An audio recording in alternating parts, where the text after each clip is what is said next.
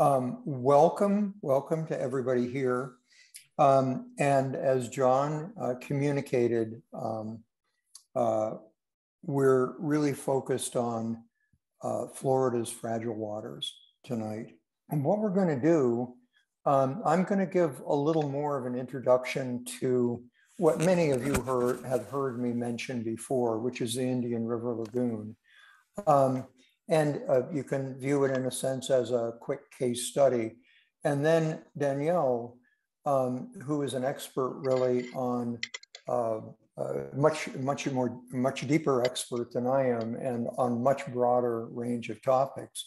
Danielle will pick it up and talk a little bit more about Florida's fragile waters. As I said, my fragile waters are the Indian River Lagoon.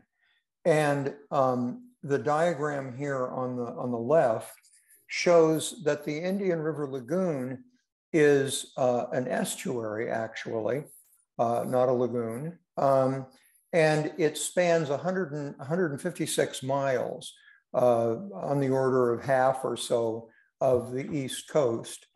Um, but it is not alone. We also connect uh, with Lake Okeechobee and the, the runoff there. Um, and uh, the St. Johns River, um, which many of you are connected with up there in Jacksonville, and also uh, groundwater and springs. And to focus in a little bit more in terms of my area of interest, I live in Brevard.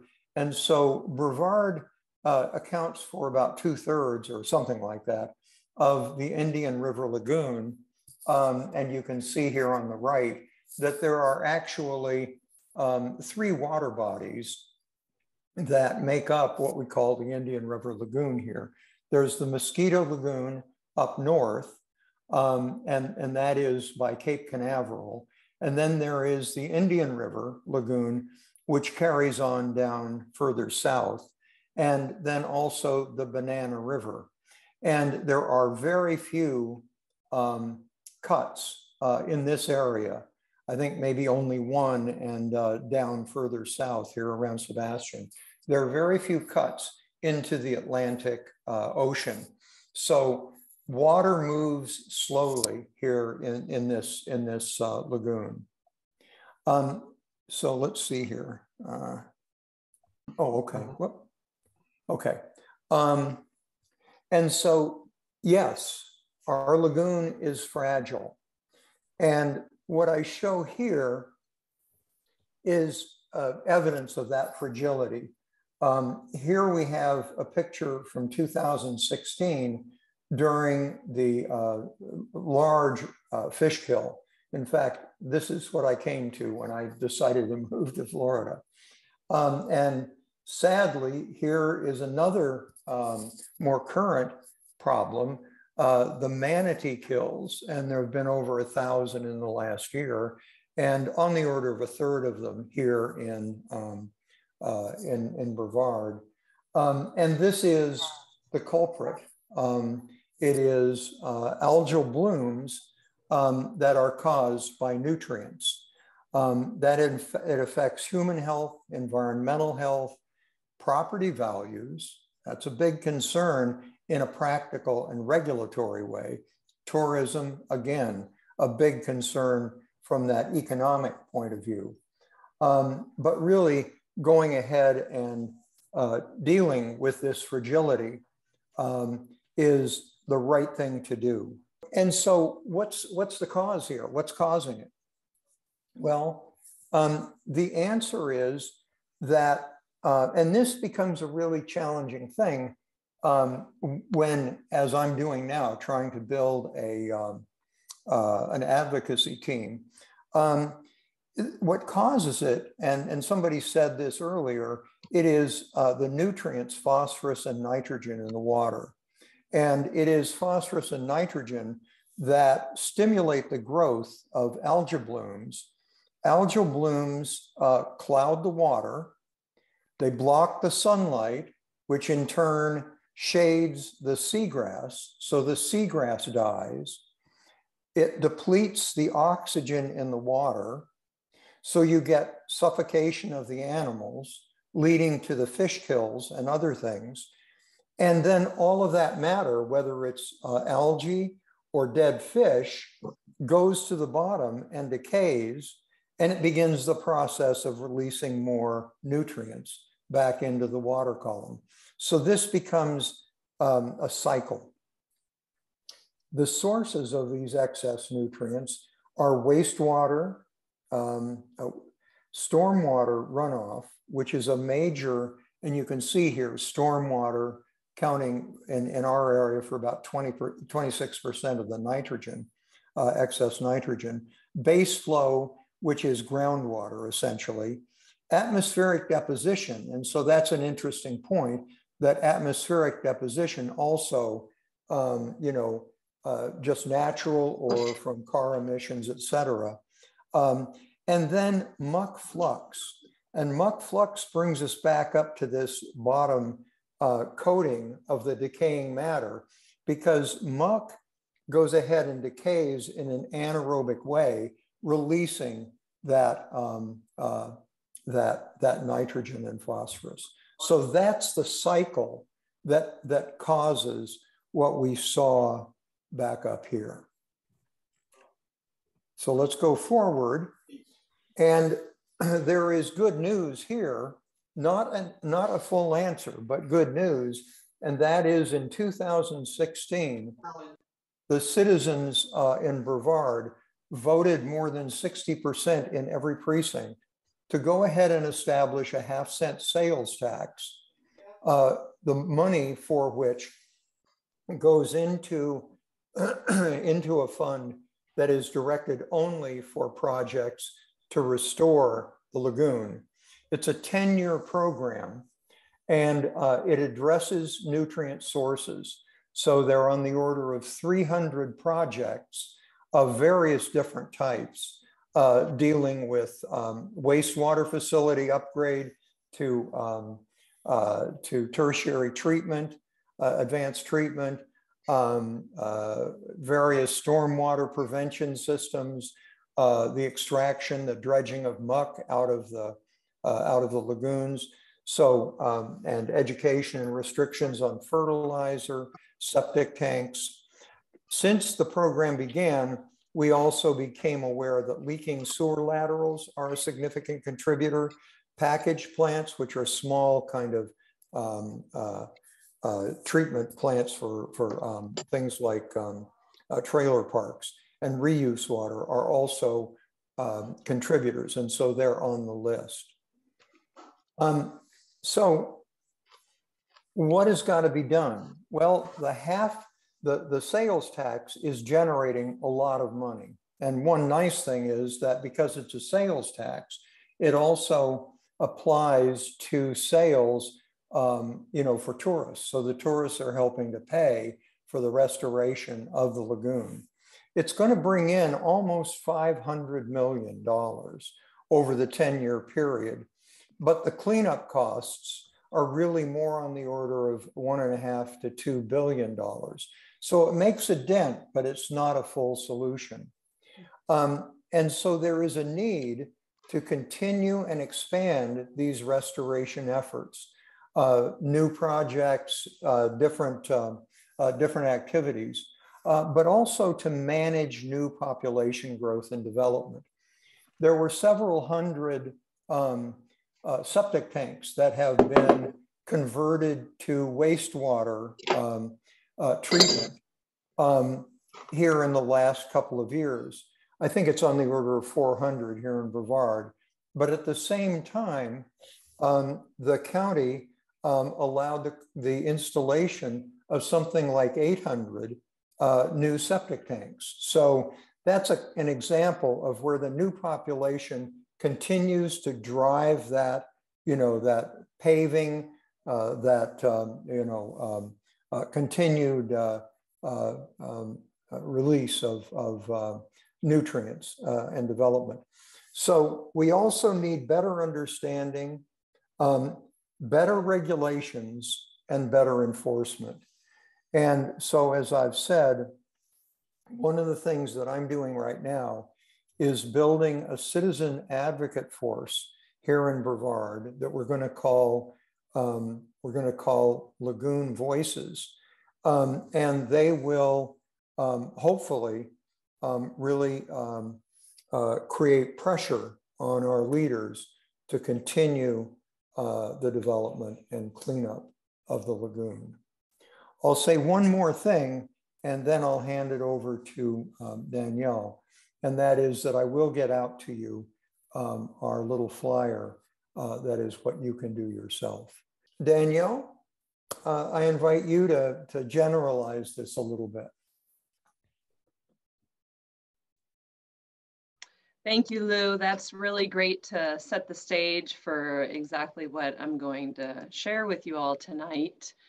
Okay, so I've spent 20 years working on the shorelines of Florida, and I'm excited to bring you some of the statewide perspectives that I'm active in in my uh, practice. And it's really on the context of waterfront resiliency. And in Florida, we have a lot of waterfronts. So let me advance here.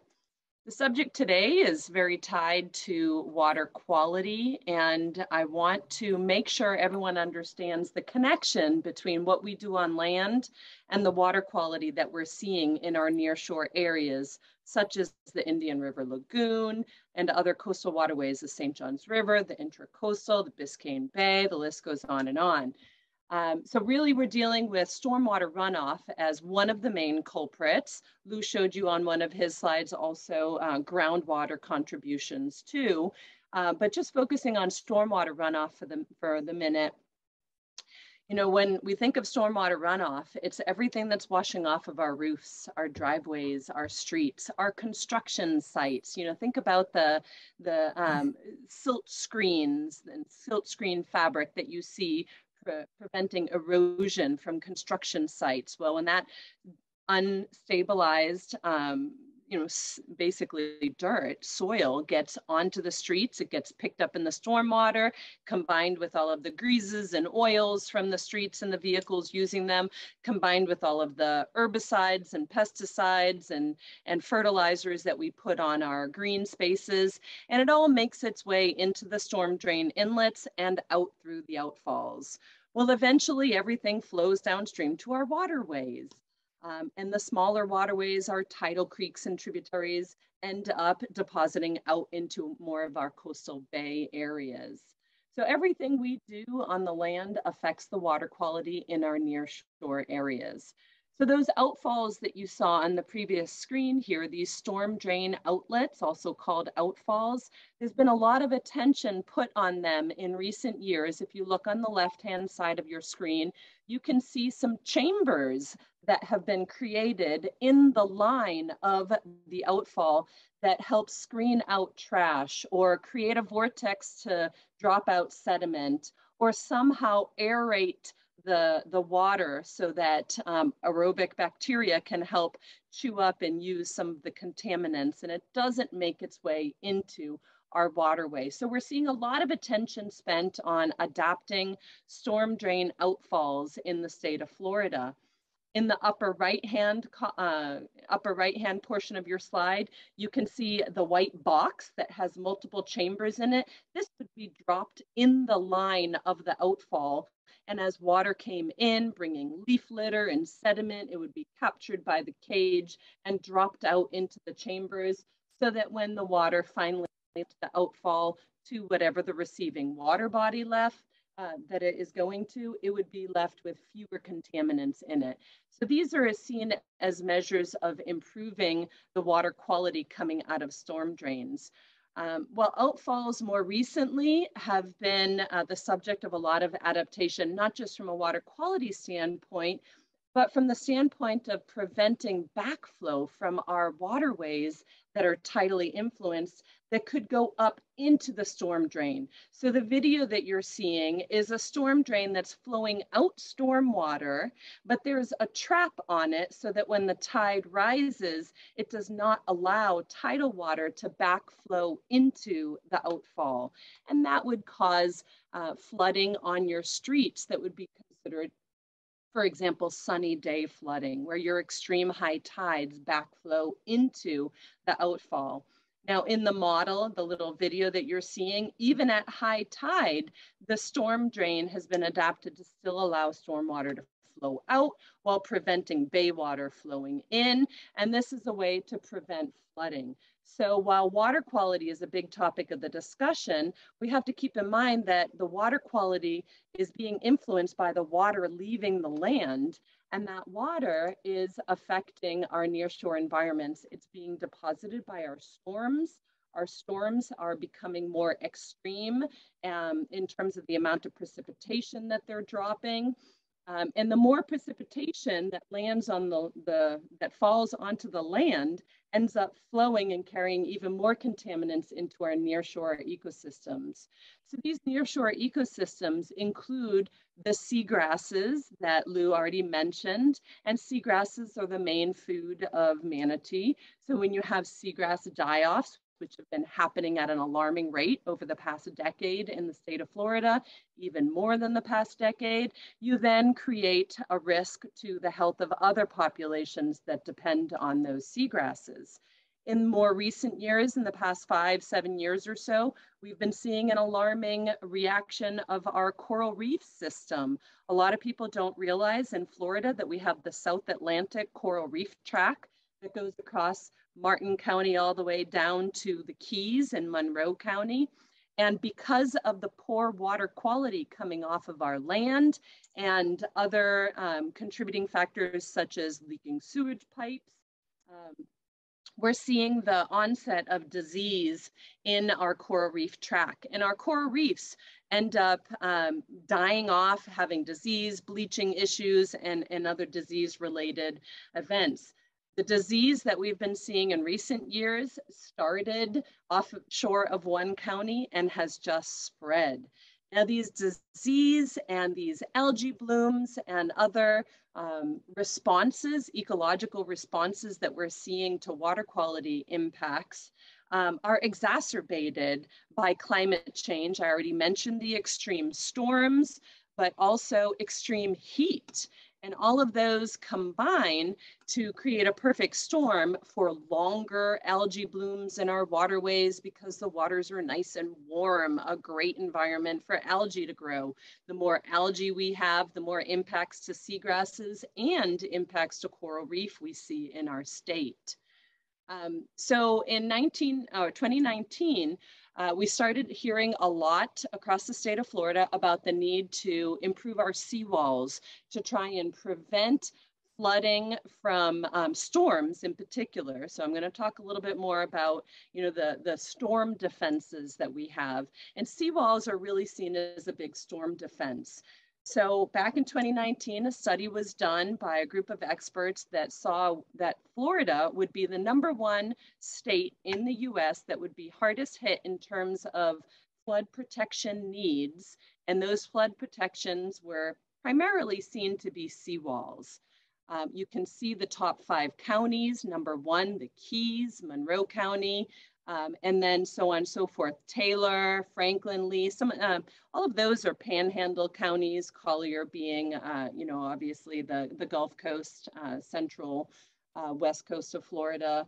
Um, and uh, seawalls are very expensive. A lot of the costs are borne by individual property owners, but there's also a lot of public property and public infrastructure protected by seawalls, and those costs are going to be borne by local and state governments. Now, seawalls are not a panacea, though, because our geology um, is so porous with our limestone that even though you may be, um, you know, building a seawall that's protective against storm surge going over the seawall or through the seawall, it's not going to stop the tidal influence going under the seawall through our porous geology and contributing to elevated groundwater as well we're already seeing this in parts of Southeast Florida where we're having saltwater intrusion into drinking water wells, and it's because of our porous geology. Uh, but really focusing on that land-water interface, well, what else can we do if a seawall is not going to be the only way to protect our uplands um, from flooding, from, from extreme storms and storm surge? You know, what else can we do? Well, we're starting to see some alarming studies come out from, for example, the Army Corps of Engineers. And if you just focus on the top two graphics, you can see a proposed flood wall that is very high, just offshore, and very imposing disconnecting people from the environment. So while it may provide the, the engineering or gray infrastructure that would protect the built environment, this is Miami, uh, the city of Miami that's shown here, uh, these seawalls are not going to um, really work with societal needs and, and ecological needs of our waterfronts. So on the bottom, you can see an alternative proposal that Miami-Dade County and the city of Miami put forward for the Army Corps to consider, and that's not looking at seawalls as the only answer, but instead also looking at what nature-based features that can give co-benefits pr protecting against flooding and storm surge, while also adding that habitat aspect. The habitat aspect helps clean up our waterways, and I'll explain more why later. Um, but also that public access and that public benefit of being able to view the water body. Uh, there's a number of studies that talk about the reduction in stress in our communities when they're able to view water uh, and then that ties into increased productivity. There's lots of reasons why we want to make sure people can still view the water and um, you know different natural systems, excuse me, natural systems as well. So we're starting to see a lot of innovation in terms of how do we make our seawalls um, have more co-benefits. And oftentimes that comes down to how can we add a living component to a seawall? So on the left-hand side, you see different texturing and patterns and creating these little micro niche environments where different crustaceans can inhabit the wall, create safe refuges for um, small fish as they're uh, growing into larger fish. A lot of these seawalls are put in our back bay areas, which are often estuaries. On the right hand side of the slide, you can see a texturing that simulates uh, mangrove roots. And these mangrove roots promote the attachment and growth of things such as mangrove oysters. Oysters are really important water filter um, and so the more oysters you have in your nearshore environment, the cleaner the water is going to be because of how much they filter out nutrients, that nitrogen and phosphorus. So there's a lot of space for innovation on our gray engineered, really straight walled concrete type of seawalls to add more ecosystem benefits. And the more ecosystem you, or the more um, habitat you add to our waterfronts, the cleaner the water ends up being. So in the past, we really lived on the gray end of the spectrum in the state of Florida with a lot of bulkheads and revetments made of, of stone or rubble. And in more recent years, we're trying to shift our philosophy as a water state over to more living shorelines because of those co-benefits that also um, improve water quality. Living shorelines are a big part of that. Um, depending upon the wave energy of your water body, you may need to include some level of hardened features like a breakwater or a revetment to protect the plants. But the plants are a key element here and adding more of those plants back to our waterfronts will be um, in the best interest of the long-term sustainability of our nearshore habitat. Um, so in the state of Florida, living shorelines are still amazingly considered in their infancy. I first worked on a living shoreline 15 years ago in the Jacksonville area. 10 years ago, I can remember trying to get the Jacksonville Zoo to implement a living shoreline instead of putting a seawall in. And I think groundbreaking on that project is only gonna happen this year. So even though they sound easy, put plants in, it's hard to get buy-in, uh, but we are starting to see uh, patterns across the state emerge. Now, some of those patterns can be seen on this graphic where you have a lot of panhandle living shoreline projects. Um, and a lot of those shorelines are a lot lower energy. So Southeast Florida, where you have really high energy shorelines that are very erosive, you see fewer living shorelines. In fact, I'm permitting one of the very first living shorelines in the city of Miami on the Miami River right now, and it's been two years in design and permitting. Um, the concept of a living shoreline you can see in this, in this photograph, where first stormwater coming off the land would filter through plants, storm surge and high tide would coming from the water onto the land would be intercepted by your, uh, your riprap revetment. If you can see the little white tubes, those are baby mangrove trees that have been planted and eventually will grow up and provide even more habitat and storm protection for the, uh, the upland environment. The water quality gets improved because your plants are gonna be sucking up that nitrogen and phosphorus from the stormwater runoff before it gets to the waterway. It's gonna be trapping soil particles that are suspended in the stormwater so that it prevents them from getting to the waterway and clouding up your nearshore habitat, which can shade out your seagrasses. Um, and oysters are a big part of that as well, but oysters are not appropriate everywhere in the state. So you have to pick what works well for your water body in terms of what will grow there. In addition to seawalls and living shorelines, we're also seeing um, different projects in the state of Florida start to embrace the water instead of hold the water at bay. We see this most in public settings, so public waterfront spaces. There's one, uh, I've got two examples on the screen. On the left-hand side, you can see the bay in Sarasota County. This is where the Van, in purple, the Van Wezel Performing Arts Center is located today and is going to be subjected to quite a bit of flooding. Already is subjected to some tidal flooding from sea level rise um, and will continue to get worse. So they're proposing to relocate uh, Sarasota County is proposing to relocate the uh, Performing Arts Building and create this tiered green space that is considered floodable space. So the flooding will allow, be allowed to go onto the property. You'll have salt tolerant grasses there that can tolerate the salinity. And it creates this floodable space without negatively affecting infrastructure or the built environment. On the right-hand side of the page, you see the Miami River. This is the Jose Marti Park, which is serving a disadvantaged community, East Little Havana, um, just on the other side of the street that you see on the top of the page. And in this area, if you see the photograph, the river, you can see the, the gray bulkhead that's there and all the flooded space on the landward side of the bulkhead under the overpass. Well, if you look under the overpass in the proposed plan and you see all of that green space, all of that is proposed to be floodable salt marsh.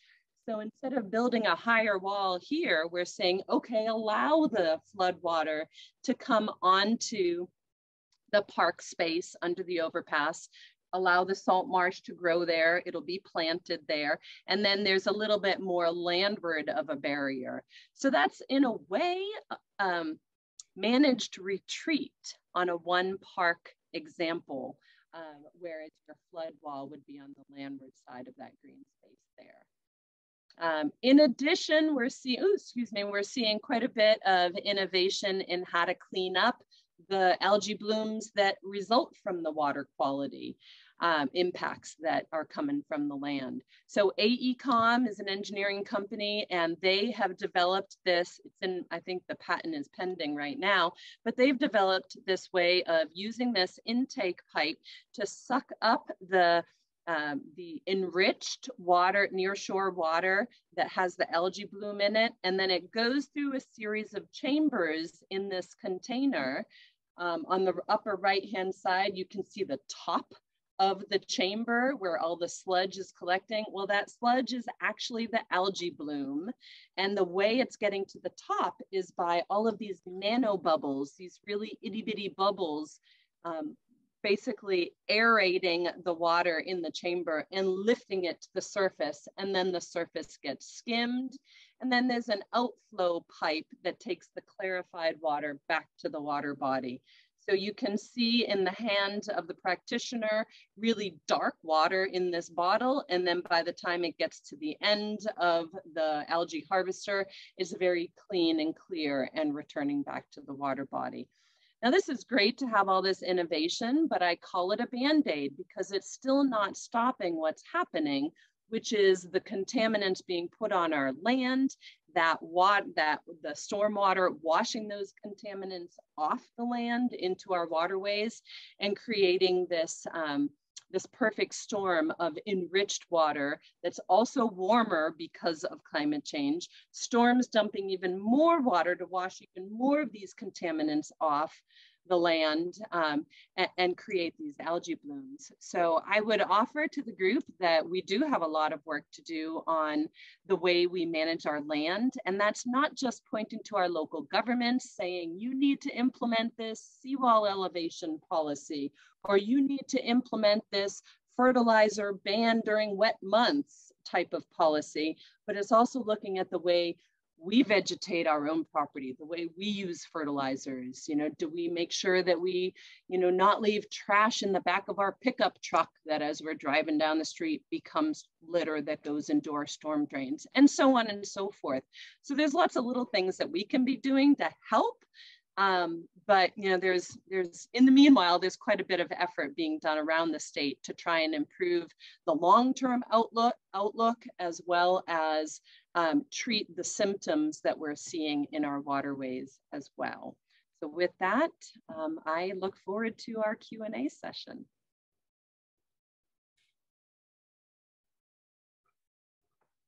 So um, yeah, if uh, if people want to put up their hand, you know, um, there's, uh, what is it? Uh, where do we put up our hands? you can do it the old fashioned way, just raise your hand. There, I think that's, or I think, the bottom, there's I a. think that works real a well. button That says reactions, and you can raise your hand like that, and then it stays raised. yeah, yeah. So, so go for it. Uh, David, do you have a, a question? Um, well, uh, I'm, I'm wondering, I have a lot of, you know, I've been in Florida for since when, like 40 years, and, uh, you know, picked up various things along the way, uh, most of it dealing with the aquifer. But um, I'm just wondering, there are certain industries that uh, contribute greatly to this uh, pollution, uh, sugar being one of them. And I'm just wondering if we're making any progress in the state uh, in getting those folks to be more environmentally friendly. I'll, I'll give you my two cents and, and invite uh, um, other other comments, but my sense is not really.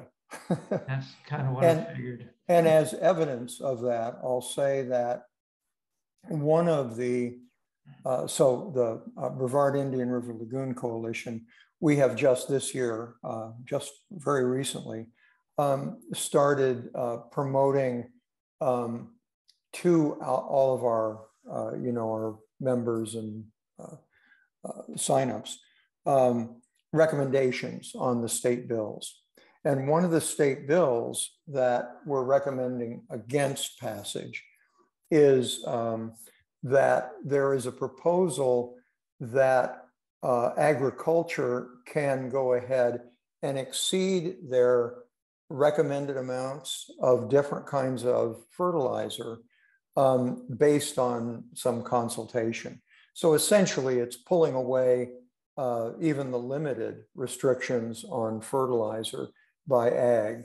And, you know, so we're against it. Um, I don't see how that helps us. Lake O, I think we know, is contaminated primarily um, by, uh, you know, farming, uh, largely sugar farming uh, around the lake. And it, it accumulates the, um, you know, the algae blooms which come both into the eastern uh, Atlantic uh, and Indian River and out to the west in the in the Gulf, and stimulates um, you know algae blooms there. So you know there might be some steps, but not much. Uh, Danielle, do you have any thoughts? I would just say I agree with you wholeheartedly. We're not making any headway in that direction. Agriculture is regulated by FDACS, which is the Florida Department of Agriculture and Consumer Services, which is our ag commissioners um, agency. That's Nikki Fried. And right. she has been very um, unsuccessful in trying to implement stronger best management practices um, she has a lot of opposition from the conservatives, um, and the agriculture lobby is very, very strong. It's not just sugar, it's agriculture in general, sugar being mm-hmm. a big component, but citrus is a big component as well. Yeah. Um, and uh, yeah, no, we've got best management practices and they're not really enforceable, and we're doing a terrible job. Um, now, Uncle John told me to keep my answers succinct, so I won't expand more, but I could. so, so others or David, did you have a? I, I have more questions, but I, I don't want to give someone else a chance. Yeah, go ahead, Greg.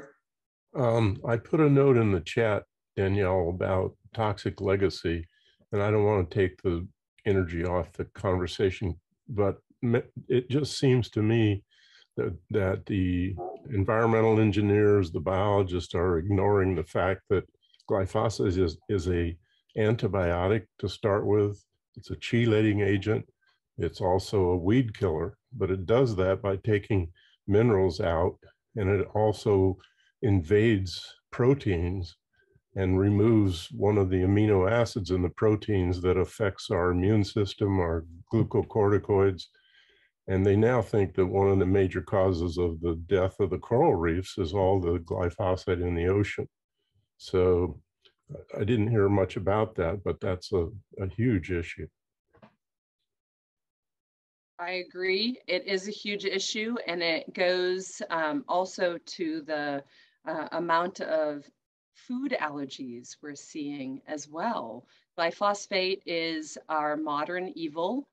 Um, and it is, I think, on its way to being regulated in future years. Mm-hmm. Uh, we've got a number of steps that would have to happen at the federal level for that, but we're starting to see um, studies now that are more directly linking glyphosate with the negative effects, both in human health and in our um, ecological health of our um, of our you know habitats.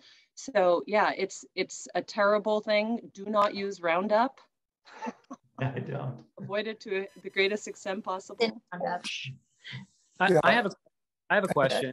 Let me let me just follow up on. Um, so uh, I know that here um, we're we're beginning to see studies, and I think uh, I think it's uh, I'm not sure it's one of the universities uh, just announced a study that's funded to look at glyphosates, um, not just in seagrass, but in uh, the manatees and, um, you know, the dolphins and so on and so forth. And so, you know, we've been focused really pretty much on, on the, the seagrass. But yeah, I think we're beginning to see that the glyphosates may actually play an important role in, in, that, in that whole process. So it's an important thing. Um, yeah. So, Paul, were, were you asking a question? Yeah, yeah. I have a question, and it's it's it. I, am familiar with the Florida Wildlife Corridor. Uh, recent, you know, amendments that are passed to conserve a whole bunch of land to combine private, uh, you know, farms, ranches with state-owned lands, county-owned lands to basically create a corridor up Florida um, for for wildlife like you know Florida black bears and Florida panthers to to freely move and to help all the other animals as well.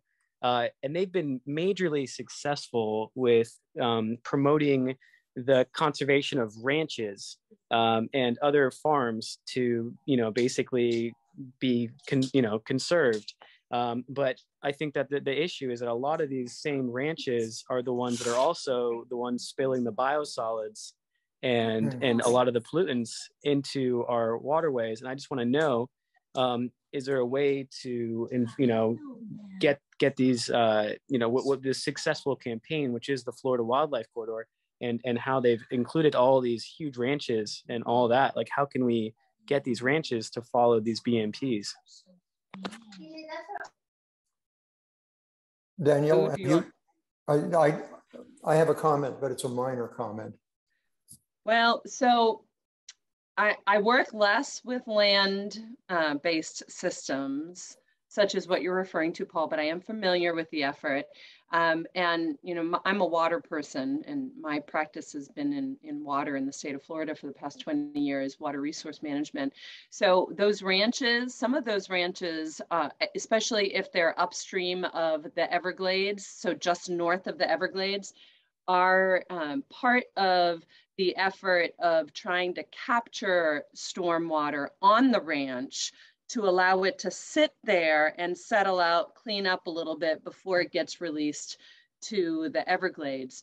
So I know that, you know, some of the ranches have been amenable to creating, they're called stormwater management areas on their large land holdings.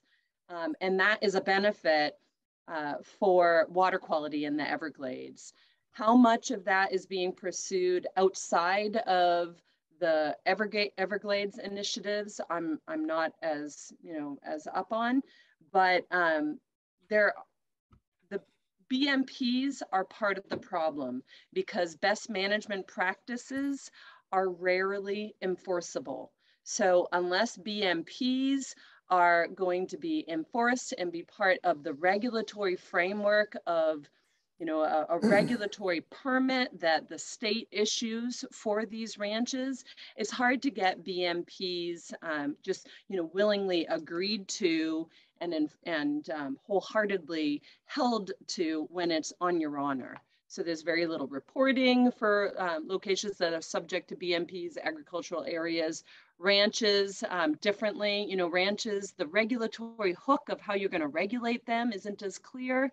Um, so, you know, it's it, it's a problem.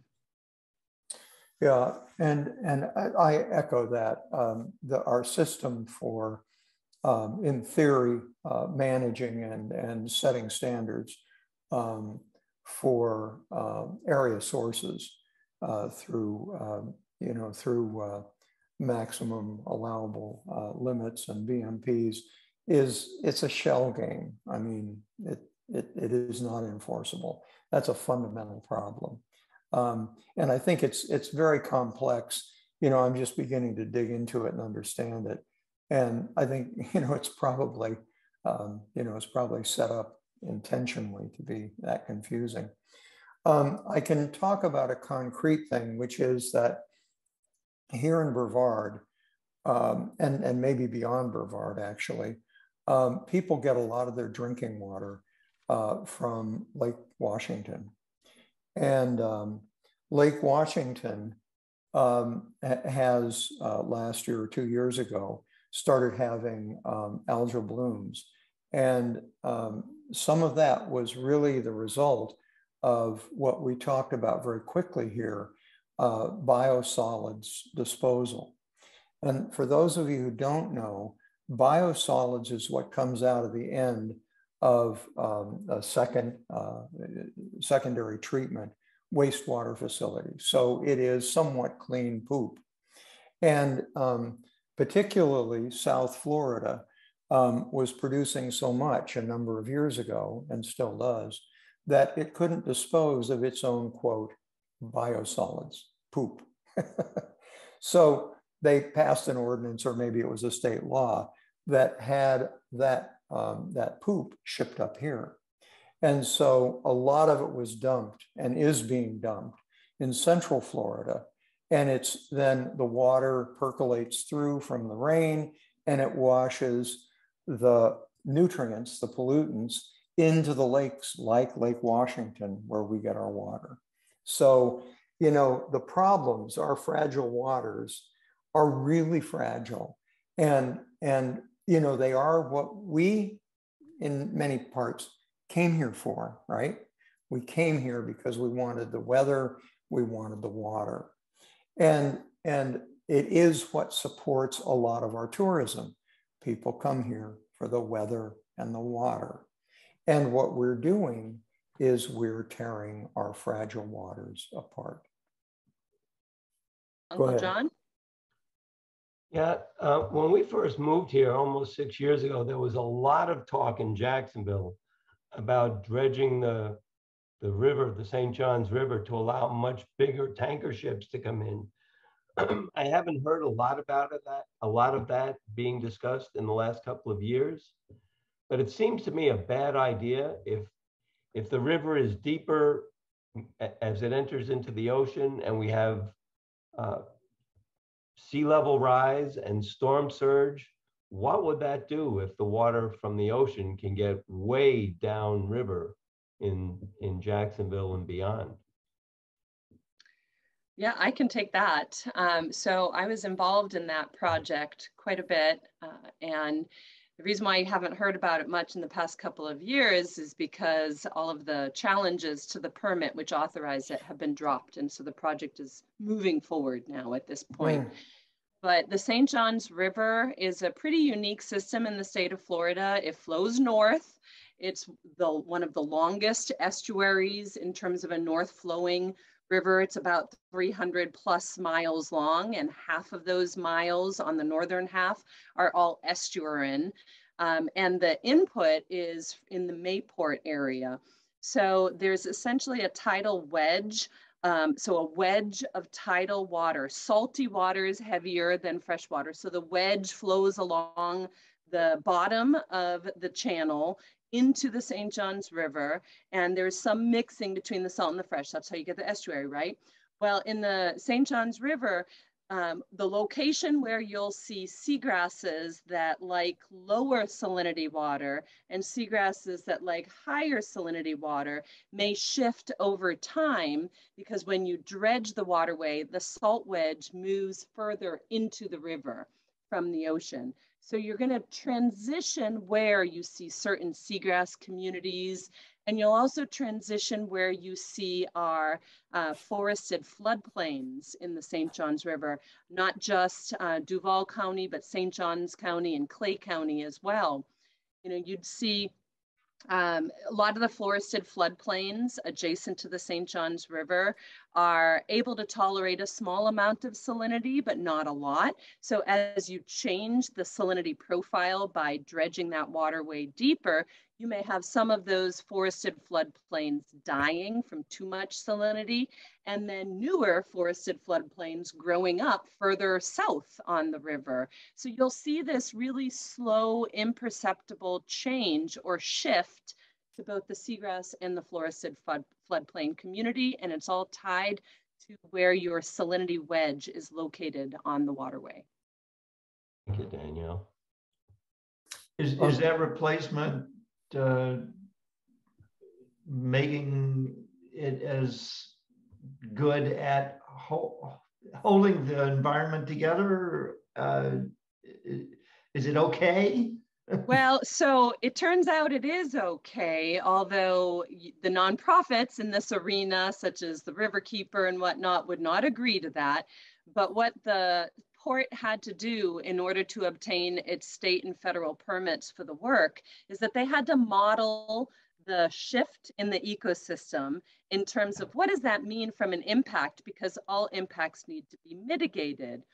Well, the state, um, in fact, it was the Army Corps that required the analysis also look at what type of salinity impacts could be expected from sea level rise. So they had to compare the mm. project impacts against sea level rise projections. The project is going forward into the future and will be, you know, maintained in the future likely in perpetuity. So what does it mean then if we have this salinity shift from the project? Is it going to be more than the salinity shift we would expect to see if you project out sea level rise, or is it going to be less? Or are you even going to be able to tell? And what the biological model showed was that the impact of sea level rise is far exceeding any impact that you could perceive from the dredge of the channel. Wow. And who mitigates for sea level rise? In the state of Florida, we don't want to do much in that arena. Wow. We can adapt to it by living to wetter environments and stormier environments and hotter extreme heat environments. Those are the three main impacts from climate change that we'll see here, sea level rise, extreme heat, and, and um, storm patterns.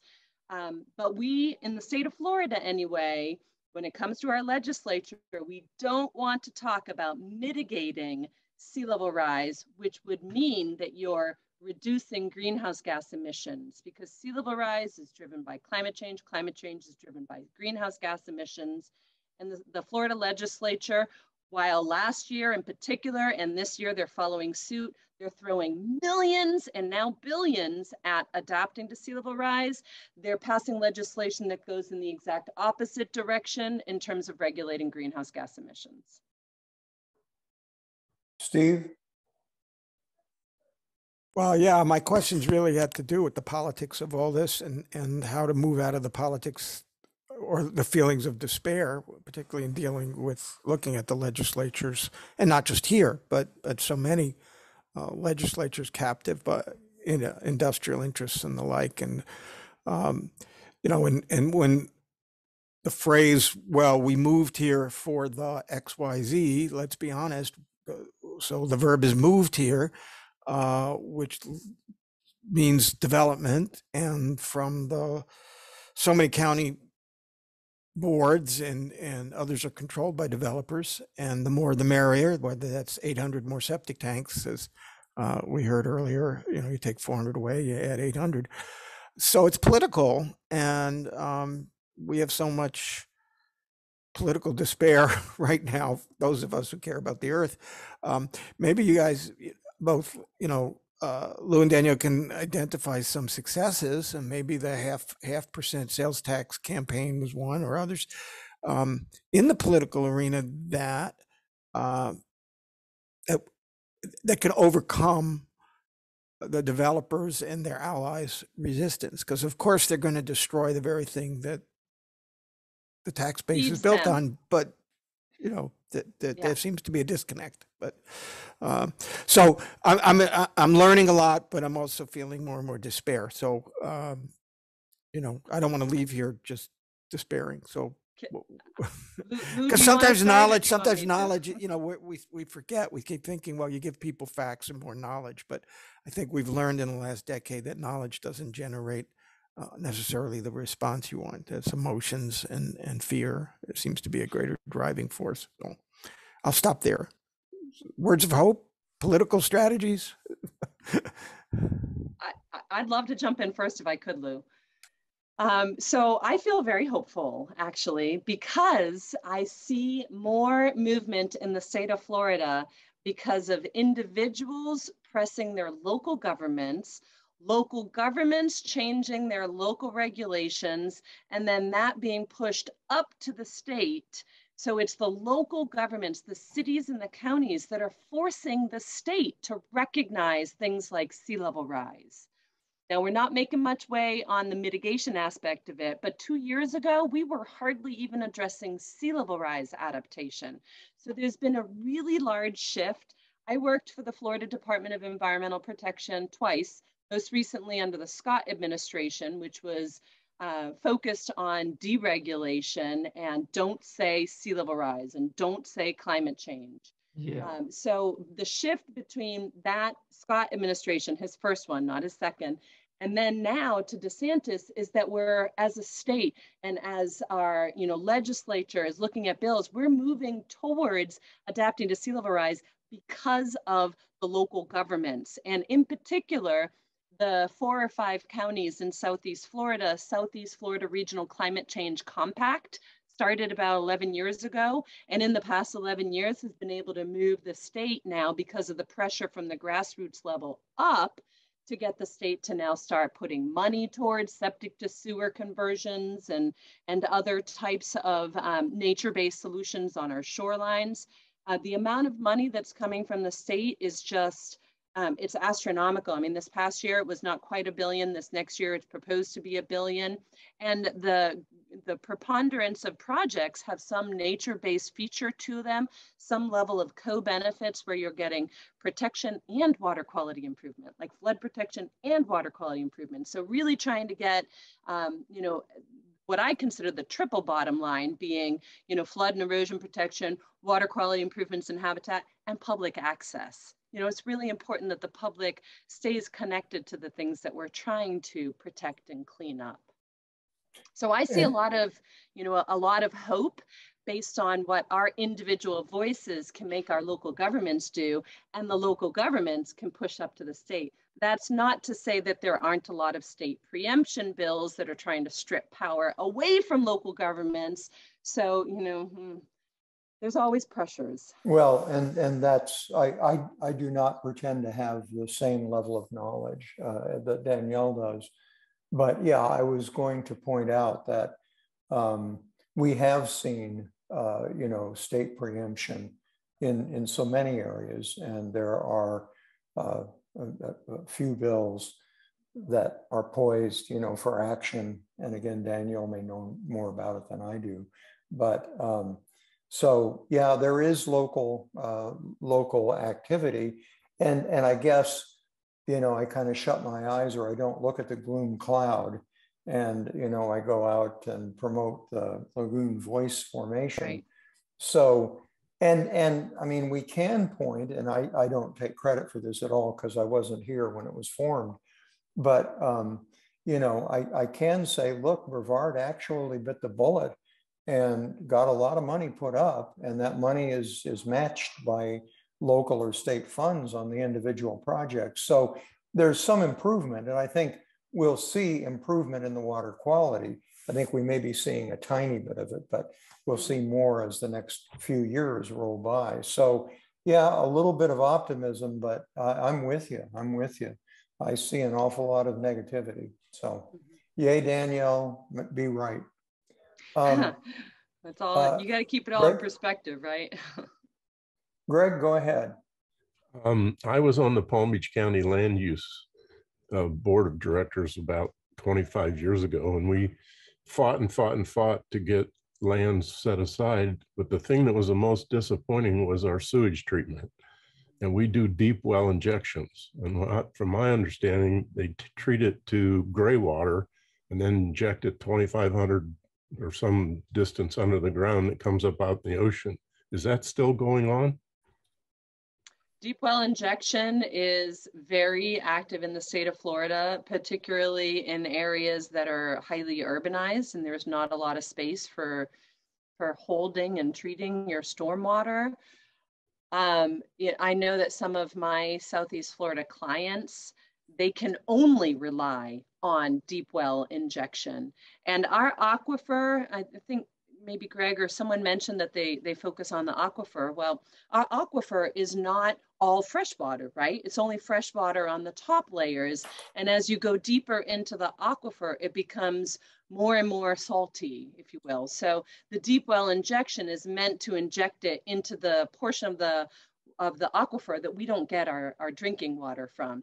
So it's not a perfect situation. We don't do a good enough job with um, with alternatives to using water and water conservation measures and um, and other ways of, of treating water. But there are some areas that just they don't have any option. You know, I I represent um, the village of Bal Harbour down in Miami-Dade County, which is surrounded on three sides by water. You've got the you know Baker's Haulover Inlet to the north, you've got the Atlantic coast to the east, and you've got the Intercoastal Waterway in the Back Bay area to the west.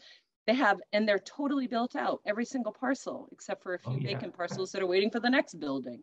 So they, that's the only way they can handle their um, stormwater. So I think that underground injection wells are going to be um, uh, kind of the norm in our, especially in our highly urbanized areas um, in the state of Florida. Okay. And, and I'll also mention that the reason why um, our legislature is finally putting money towards things like recommendations from the blue green algae task force to clean up our waterways and and other um, sea level rise adaptation initiatives is because they're seeing their bottom line. You know the we, we our state runs on tourism dollars on sales tax income. So if you start messing around with the quality of our beaches the quality of our more inland back bay waterways, that negatively affects tourism dollars. That means the state has less money to play with as they're developing their budget. Now, the budget this year is all fat and rich because of all the money that the state is willingly accepting from the Biden administration, although they won't tell you that. So, you know, we don't, we're starting to see, you know, fewer initiatives from the Blue Green Algae Task Force actually get traction this year because the governor can fund whatever he wants right now. Um, but you know, there's if you're affecting tourism, you're going to affect the state's ability to fund what the state does, and that gets the legislature's attention. So now I'll actually bring in um, a, maybe an optimistic note. How's that for a shocker? Um, so we've said um, there is no alternative uh, in terms of the uh, uh, the gray water or the uh, effluent from the wastewater treatment facilities, but in fact that's not true.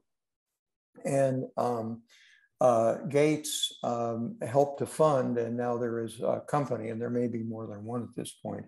There's a company, Sedron, that um, really takes the solid waste um, from the um, uh, from the wastewater uh, facilities and and burns it, uh, generating drinkable um, water and um, uh, uh, fertilizer that can be used.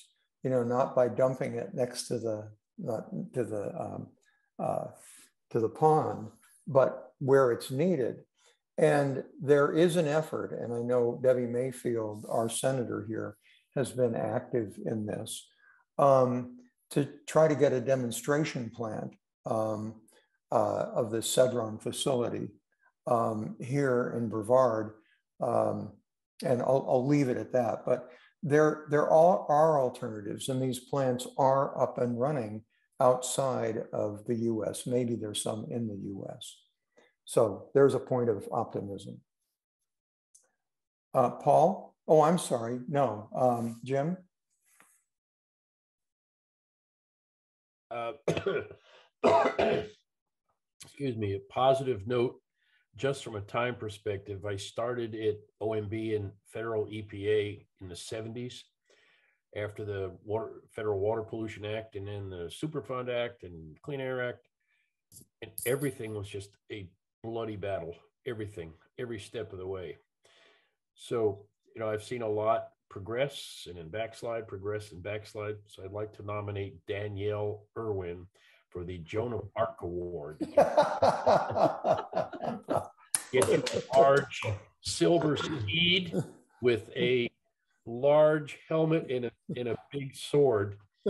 And go get him, girl. One project at a time, one piece of legislation at a time. yes. Your energy and enthusiasm and innovative perception, spirit, yada, yada. Um, yeah, I, I did all that stuff for 25 years and I'm just so glad to see the energy you're pushing. Go for it.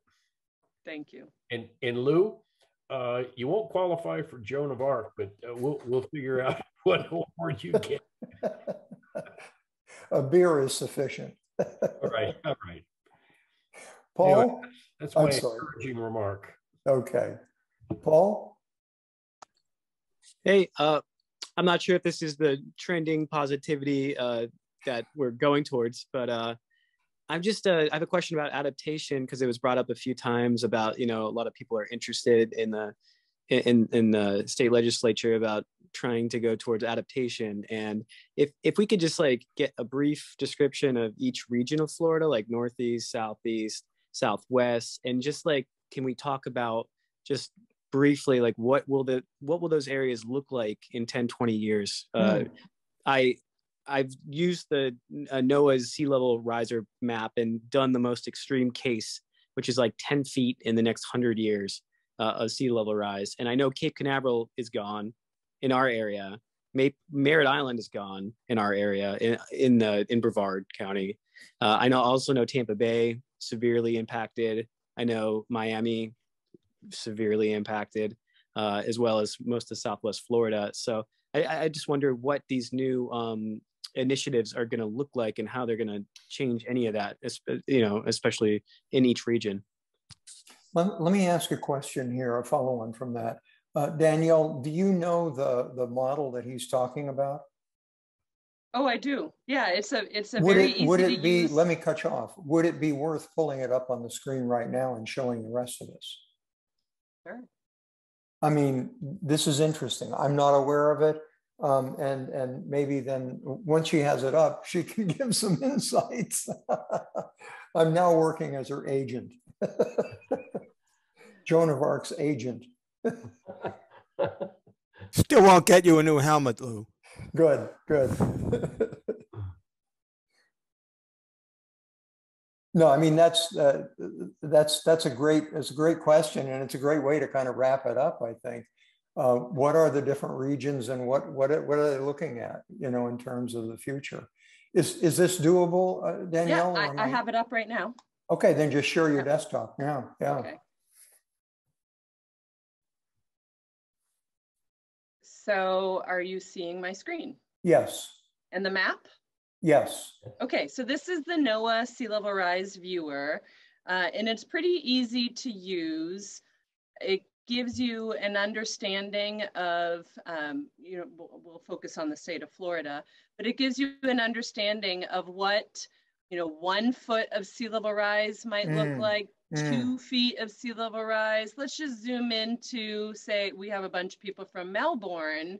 So let's zoom into the Melbourne area. And um, we'll zoom in a little bit closer there. So you can see a couple of creeks that come in on the east side. Um, here's Melbourne and, and, you know, just off of the Indian River, some of these creeks that come off. So this is what two foot of sea level rise could look like. Um, we're tracking in the state of Florida about a foot and a half of sea level rise by 2040. Um, more than that, if you go further beyond, and these are projections from the Southeast Florida Regional Climate Change Compact.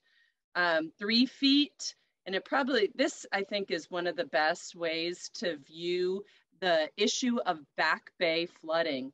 You know, people think sea level rise is focused on the, the Atlantic coast or the Gulf Coast, but it's actually when you move off of the barrier island. So here's the Atlantic and the coast, and then here's your barrier island. All this in the back is back bay area.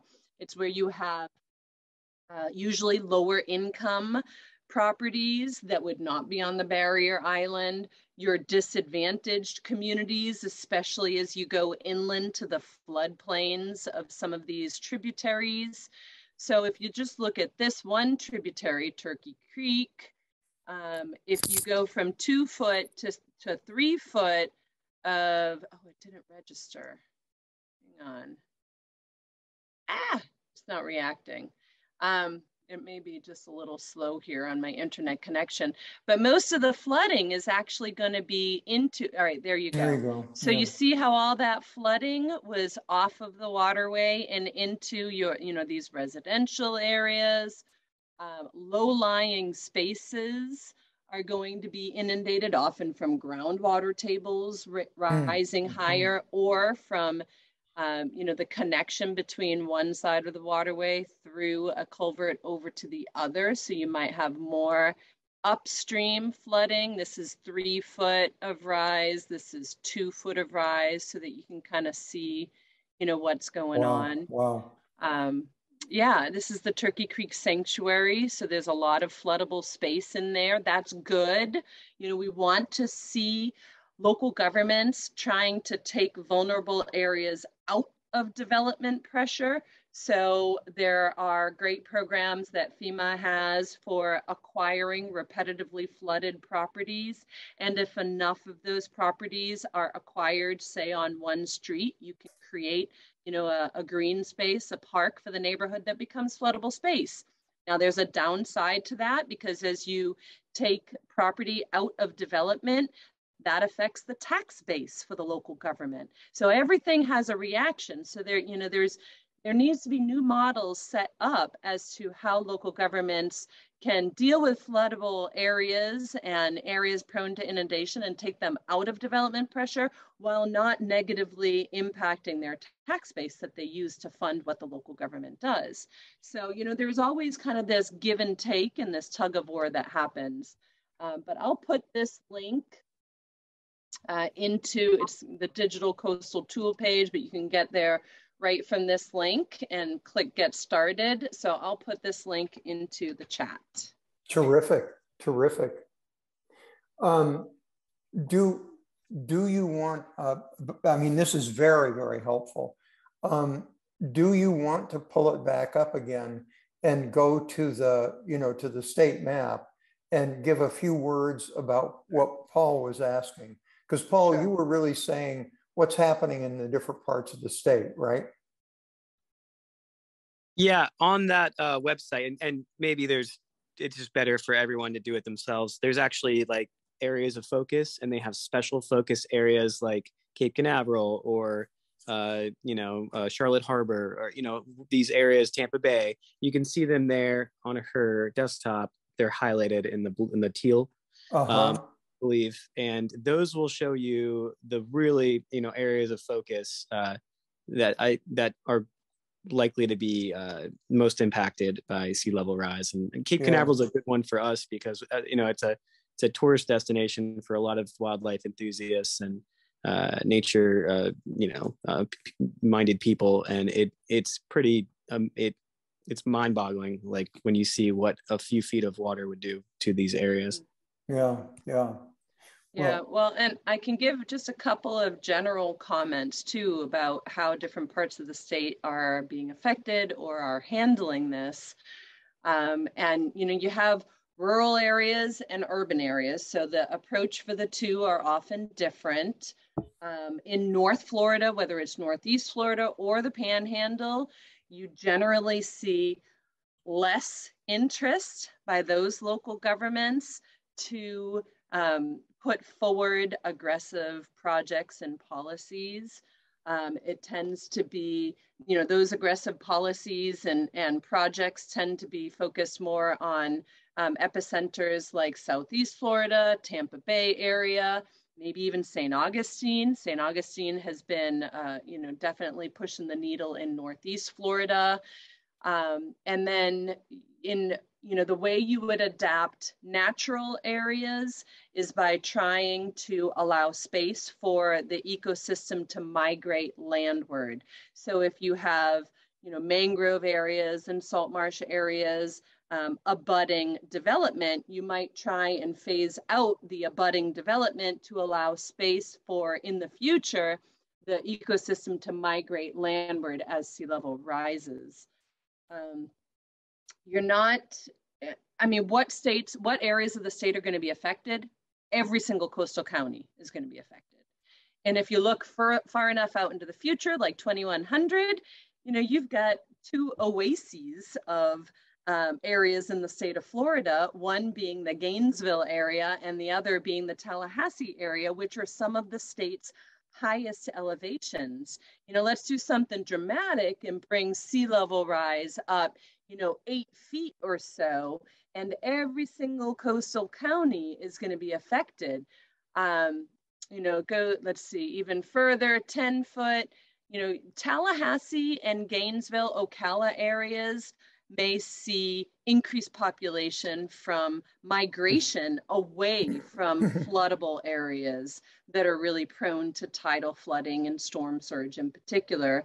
Um, we're already starting to see some uh, climate change driven relocation patterns in the state of Florida where people are sick of their property flooding and they're going to move to an area that's higher and drier. So some of our more landlocked areas may start as they're planning, um, you know, whether it's comprehensive planning through their comp plan or on a development by development basis, they may start looking at population trends that show more people migrating to their communities. Um, I know that's something that we've raised in Tallahassee because a lot of the areas that are flooding south of Tallahassee are um, not the wealthiest of counties. you know, some of them would be technically identified as impoverished counties. And so a lot of those people are going to be moving out of the floodplain into the rural areas of Leon County around Tallahassee because the rural areas are still going to have low enough property value that they can afford to move, but they're going to be moving away from the hassle of all that flooding. Um, so, you know, different parts of the state are handling it different ways. Does that answer your question, Paul? Yeah, and I understand, you know, we're probably getting close to the time. And I, I think that does Right. answer my question. We're all kind of in the same boat. So yeah, Yeah. It that way. Well, I think it was an excellent kind of capstone for, you know, for our conversation tonight. Um, so I want to thank everybody and I want to give you all um, a challenge. And the challenge is very simple. And that is that I invite everybody here to go ahead and identify in your local community an organization that is working to help Florida's fragile waters. Just find it and then send me the link to that organization.